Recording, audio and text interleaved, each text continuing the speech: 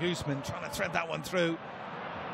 Comes off Schmelzer. Da Costa again forward. The cross is going to go through for Haller, and he's redirected at home. A goal out of nothing for Eintracht Frankfurt. They've drawn level.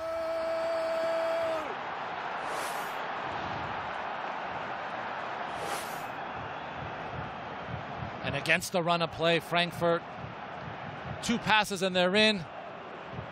And Schmelzer, who really deflects one in, unfortunate there, but it's Haller. He's wide open in space and he just puts it away with a clinical finish. It's not an easy one. He has to hit the far post, but it kindly falls to him and he hits the far post. He was quiet throughout this match and one chance and he puts it away. And a mistake there by Schmelzer. It's it's a difficult one, but Two times he was involved, Schmelzer, initially, and then that little bit of a deflection put it into the path